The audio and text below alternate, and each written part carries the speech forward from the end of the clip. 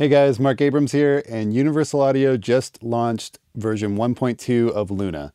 With that launch comes the support for MCU enabled control surfaces. If you're like me, I have Eucon controllers because I'm a Pro Tools geek, but Luna's super awesome and I want to be able to use it. So I have two S1s on my desk with a Pro Tools control dock. I'm going to show you how you can set up Eucon to be able to use it in MIDI mode with Luna. Here we go.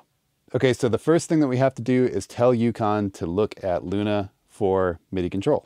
So to do that, I'm just going to open up Spotlight and I'm going to type in Eucon and then Preferences.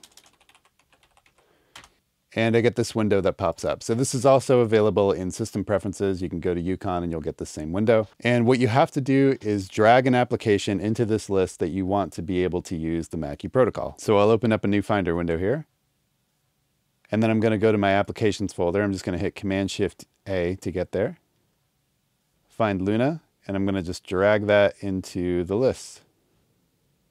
Now that I've done that, I'm going to make sure that it's enabled on MIDI ports 1 through 4. If you're an Ableton user or another program where you've got Eucon set up to use those MIDI ports, make sure that 1 through 4 are available for Luna to use. The next thing is in Luna, I'm going to go over to my preferences, so I'll hit Command comma, go over to controllers, and then under input device, Euphonix port 1, Euphonix port 2, port 3, port 4, and I'll make the output device the same for those.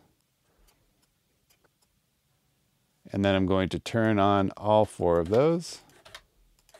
And you can hear my faders clicking in the background because they're, they're coming up to speed here. We'll go back to Luna. Uh, I could either click on the UA icon here or just hit Command comma. And then if I make a bunch of tracks, you should hear my faders all snap along with the new tracks that come up.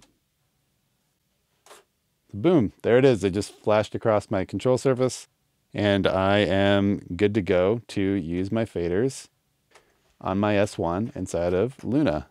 I'm pretty excited about this. I also have transport control on my dock. And it looks like we're good to go. There are some limitations. I don't have any of the automation modes working on my dock yet. If I figure that stuff out, I'll let you know.